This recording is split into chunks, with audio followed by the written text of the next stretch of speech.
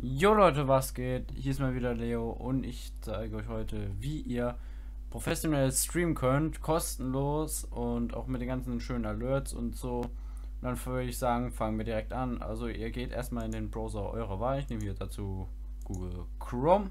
Dann geht ihr erstmal auf die Seite obsproject.com und dann streckt ihr hier Download OBS Studio aber ich nehme nicht OBS Studio. Das rate ich euch auch nicht. Ähm, ist zwar schon gut, aber nach, also bei mir ist einfach nach drei Monaten einfach so der Sound ausgegangen und ich fixe es jetzt auch dauernd, also versuche es zu fixen, passiert nichts. Ich habe schon mehr, schon mindestens siebenmal deinstalliert und wieder installiert, also es bringt nichts. Dann klicken wir auf OBS Classic, ist auch das performantere, finde ich, und hat weniger Abstürze und hat auch weniger Probleme. Also ich nehme dazu ähm, ähm, OBS Classic, weil ich es einfach besser finde. Und ja, also ihr könnt ja ähm, das nehmen, was ihr besser findet. OBS True hat einfach halt nur das bessere Overlay. Ansonsten ist es einfach gleich. Und ja, die Punkte heißen auch gleich. Deswegen könnt ihr auch einfach so das Video gucken, wenn ihr auch OBS Studio euch holt. Und ist wie gesagt alles kostenlos. Also da müsst ihr keine Angst haben, dass irgendwie Kosten anfallen. So. Dann installieren wir das jetzt. Das ist ganz normal. Eine ganz normale Installation. Hier Next. Ja, I agree. Dann installiert es kurz. Da könnt ihr auch schon Run machen. So. Dann ist es jetzt quasi hier schon fertig dann können wir auch den Browser schließen, obwohl den können wir auch ähm, gleich nochmal öffnen. Und zwar ähm, ist es ja mit allem drum und dran. Und zwar jetzt gehen wir erstmal hier ins das Einstellungsprofil. Das ähm, machen wir erstmal einen Stream auf YouTube. YouTube Gaming schaue ich nochmal hinten dran. YouTube Stream Stream und dann hier auf hinzufügen. Dann gehen wir hier auf die Codierung. Da, ähm, äh, äh, dann müsst ihr halt gucken, wie gut euer Internet ist. Dazu ähm, könnt ihr einfach hier euren Browser aufmachen, dann speedtest.net. Können wir auch mal kurz machen. Okay, die haben jetzt ihr Design geändert. Hier, wie ihr seht, hier 19er Ping, gerade 35 Mbits Download, was eigentlich für mein Internet recht schlecht ist, aber da geht es auch höher. Aber ich verbrauche jetzt auch ein bisschen was. Mit Teamspeak ist noch nebenbei offen und blablablubsch. Und Upload ist so 6, 7, eigentlich bei 8. Ja, da kommt doch die 8. So, jetzt bei so 8. Und zwar ähm, kommt es nicht bei euch auf den Ping oder auf den Download an, sondern nur auf den Upload. Wenn ihr hier 8 habt, dass es wirklich schon gut ist, ähm, dann könnt ihr hier 8000 Mbits hinschreiben. Will ich euch aber nicht raten. Und vor allen Dingen hängt es auch noch von der Codierung ab, ob das euer PC auch schnell genug rendern kann. Ähm, aber ich würde euch vielleicht empfehlen, ähm, wenn ihr jetzt so nicht die tollste Leitung habt, sagen wir mal ein 3er Upload, 3, äh, dann würde ich sagen, entweder also wenn ihr 3000, also 3,8 Mbits habt, ähm, dann nehmt vielleicht 2500 oder ihr nehmt einfach dann 3000 gleich und dann noch 3500, wenn ihr ein bisschen mehr habt. Also das reicht eigentlich. Nee, ich nehme hier jetzt mal hier ein bisschen mehr, weil ich besseres Internet habe. Ich nehme eigentlich immer 5000, dass es ein bisschen schöner aussieht. Ähm, nehme den X ähm, ähm, Ding Encoder. Manche können wir auch den Nvidia Encoder nehmen, nehme ich das aber nicht. Ähm, Stringpub Plattform ähm, nehme ich YouTube, Schrägstrich YouTube Gaming. Erstmal hier auf Übernehmen und dann braucht ihr hier einen Streaming Key. Ähm, wie ihr den rauskriegt, da geht ihr hier erstmal auf euer YouTube ähm, äh, Account drauf. Dann ich wechsle erstmal noch auf Leos Hardware, auf den Kanal. Das andere war mein alter Kanal. So. Dann gehen wir hier auf Video Manager. dann Livestreaming, dann hier den äh, kopiert ihr euch den ähm, Schlüssel, klickt ihr auf Anzeigen, dann wird euch angezeigt. Ähm, ja. Ich, für euch ist das Bild jetzt gerade mal kurz verpixelt. So. Dann ähm, habe ich das jetzt hier kopiert. Dann fügt ihr ihn hier ein. Drückt ihr auf Übernehmen. Dann könnt ihr hier noch auf Optimieren klicken. Und müsst keine Probleme geben. Ähm, ja, hier sieht ihr auch meine Grafikkarte. Nimmt ihr halt die beste von euch. Äh, ja, ich will hier 1080 äh, p streamen und 30 FPS. Das müsst ihr auch von eurem PC gucken, was haut so hin. Ähm, dann kommen wir zum Punkt Audio. Da wählt ihr euer Mikrofon aus. das andere könnt ihr einfach lassen, das ist so unwichtig. Das ist hier mein USB-Mikrofon. Ähm, hier, da müsst ihr auch einfach mal ein bisschen rumspielen. Ähm, ich mache das hier auf Main. Da müsst ihr aber auch gucken, ähm, wie euer PC so das aushält. Ich lasse es auch mal auf Very Fast, weil alles andere ist ein bisschen scheiße. Ähm, Mikrofon raussperre, da können wir kurz mal Vorschau aktivieren. Und da seht ihr auch hier, mein Mikrofon ist ziemlich gerade laut. Also dann müsst ihr es dann so einstellen, so knapp unten drunter, dass es halt nicht so gerade auch noch zu tief ist. Dann ähm,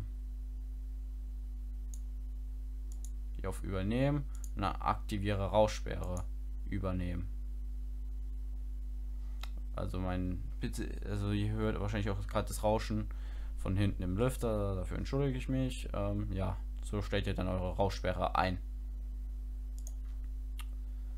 Äh, ja, dann klicken wir wieder auf Vorschau stoppen. Dann könnt ihr eigentlich schon Aufnahme starten und Streaming starten.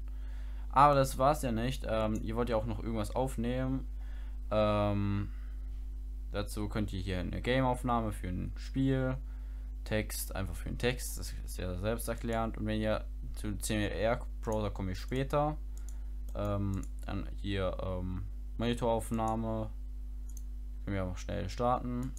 Hier ist einfach euer Monitor. Ähm, ja, entfernen wir mal. Mit Videogeräte könnt ihr ähm, könnt ihr dann Facecam aufnehmen und bei Fensteraufnahme könnt ihr ein bestimmtes Fenster aufnehmen. Ja, das war es erstmal von OBS an sich. Dann habt ihr halt noch eine Szene. Ähm, dann die benennen wir auch mal in YouTube Gaming um.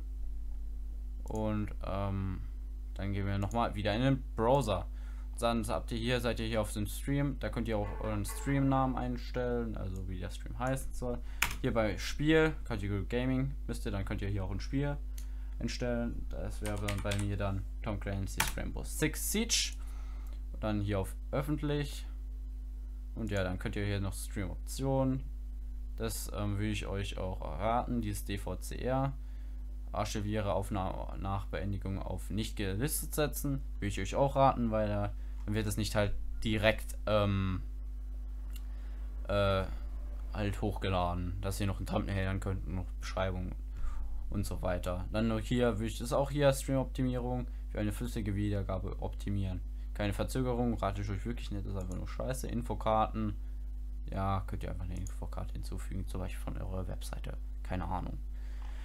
Ähm, ja, dann habt ihr hier noch Live, ähm, Live Judge, blabli blubsch.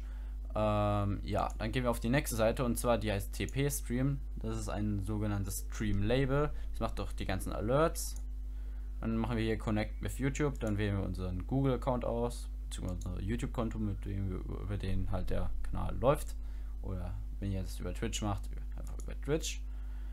Ähm, ja, da habe ich hier schon was. Rainbow Six. Das lösche ich mal. So, dann hier Leos Hardware sehen. Dann mache ich YouTube Gaming. Und dann Create Scene mit eurer passenden Auflösung natürlich von eurem Stream. Sonst sieht das ein bisschen verkrüppelt aus. Würde ich sagen, machen wir erstmal eine New Alert Box. Ähm, da hat sich auch einiges äh, ähm, geändert. Aber ich würde es einfach so bei ganz normal lassen. So, Donations könnt ihr, können wir anlassen. Ich würde Follows aktivieren, Subscriptions, wir sind hier nicht auf Twitch. Hostings ist auch auf. Cheerings auch. Teams, da könnt ihr noch World of Warcraft, Full Metal, Plattformer, finde ich, ist aber alles scheiße. Dann hier aber, hier ist es wichtig, wenn ihr, dass ihr hier das einstellt. Zum Beispiel äh, ist jetzt ein Rainbow Six Basti. Ähm, wer ist jetzt bei mir als Follow? Und hier die Katze, die ist eigentlich ganz süß. Dann könnt ihr euch noch eine von den anderen nehmen. Und ich mache eigentlich bei Shooter, wenn das jetzt gerade mal gehen würde. Gut, will Junge nicht. Dann, das ist bei der Katze. Die finde ich eigentlich auch ganz lustig. Und noch bei Donations, dann hier ähm, müsst ihr das einfach wegschreiben. Hat gespendet oder euren Text. Äh, dann will ich noch das Take My Money äh, von da hinten wegmachen. Äh, dann nehme ich hier nicht die Katze, sondern das Insert Coin Ding. Das passt da eher. Dann könnt ihr hier noch einen Sound. Dann könnt ihr auch eigene hochladen. Dann will ich für Donations Coins nehmen. Für Follows will ich einen eigenen hochladen. Ähm, da habe ich auch einen eigenen. My Files. Hier für Fame. Ja, das habe ich schon mal. Dann Juice. Ähm, ja, und dann könnt ihr euch die auch Play Animation machen. Dann einfach hier oben auf Create Widget. Dann schon habt ihr so eine Alertbox. Die will ich dann aber im quadratischen Style erstmal zusammenziehen. Äh, so. Und dann vielleicht hier in der Mitte platzieren. Genau hier in der Mitte. Und dann groß ziehen. So. Dann habt ihr auch schon mal eine Alertbox. Obwohl die ist jetzt ein bisschen zu groß. Äh so, wieder in der Mitte. Und dann könnt ihr euch hier auch eine Chatbox hinzufügen. Das Service macht ihr dann auf YouTube. Ähm, Show Bot Messages mache ich mal aus. Äh, Show Battery Emotes, das würde ich schon mal anmachen. Äh, vom Bottom, from Top, mal gucken wie das aussieht. Aber es sieht vom Bottom besser aus, finde ich. Das Template ist YouTube natürlich. Fade in, ja, das passt alles. Äh, dann wieder Create Widget. Chatbox müsst ihr auch natürlich in richtiges Format ziehen. So, dann habt ihr auch schon eure Chatbox erstellt. Hier kommen dann Nachrichten rein. Werden hier hingeschrieben. Dann können wir noch hier ein Overlay hinzufügen. Da haben die auch ganz gute ähm, so vorne dran. Ähm, ja, dass wir nichts äh, festkennen. Aber ich nehme mal hier das hier. Ähm, das finde ich eigentlich ganz gut. Und äh, ja, dann könnt ihr auch dann hier mit Text euren Namen hinschreiben. Hier bei mir ist es dann Lios Hardware. Richtig geschrieben. Äh, das kommt dann hier oben hin. Dann könnt ihr hier das ähm, auch bei Font Size ein bisschen größer machen. Oswald ist eigentlich eine ganz gute Schriftart. Also finde ich passt immer gut. So, äh, ja, dann haben wir auch das eigentlich schon fertig.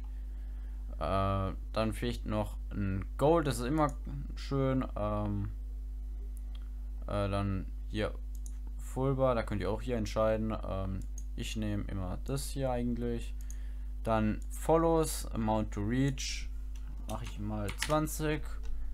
Title und dann hier einfach ein von hinzufügen. Äh, aber, ne. So. So, dann. Was ist ja auch hier quasi von dem TP-Stream ähm, Tutorial. Ähm, aber ich zeige jetzt nur noch mal, wie ihr Donations und so einstellen könnt.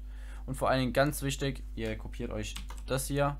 Dann geht ihr ähm, auf ähm, wieder in OBS rein, dann geht ihr in den CR-Browser und dann macht ihr, T ihr hier den Titel ein, TP Stream oder wie ihr es nennen wollt, TP Stream Web Overlay.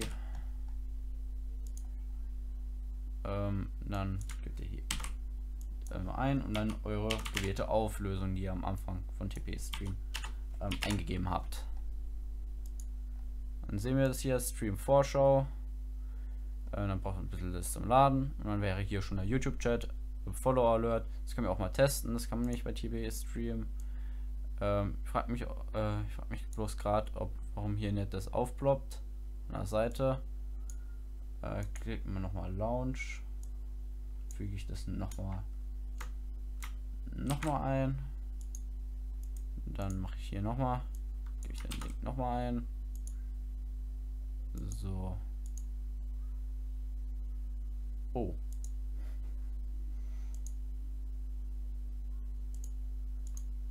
Ich glaube, das der falsche Link, den ich mir da kopiert habe. So. Mache ich meinen rein. So. Dann müsste ja eigentlich auch der Goal auftauchen. Das hat manchmal bloß ein bisschen Probleme. Ähm, dann machen wir mal hier ähm, Simulate Event. Es hängt hier gerade so ein bisschen die Seite. Simulate der Follower. Yo, Yo I ain't here for the money, I ain't here for the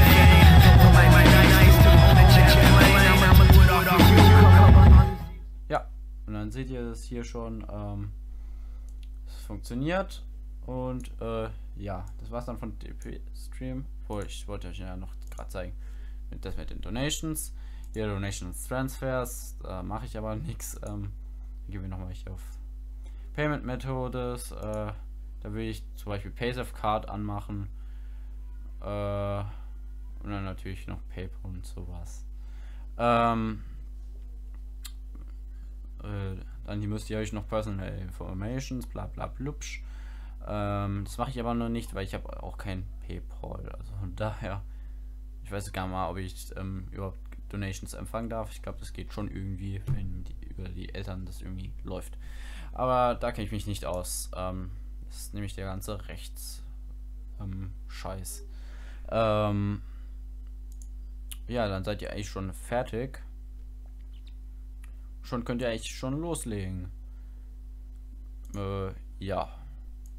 Dann starten wir mal kurz irgendein Spiel, da, zum Beispiel Minecraft, weil ich es gerade sehe, es gerade auch nicht so viel Leistung frisst.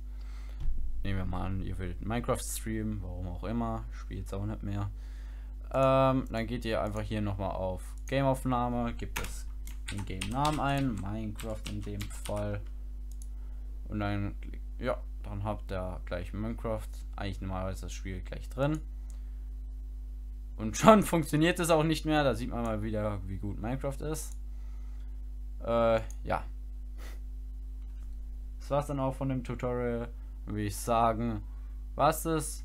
Und dann würde ich sagen, ciao Leute, bleibt bis zum nächsten Mal dran und schreibt vielleicht noch andere Tutorial-Ideen rein. Ciao.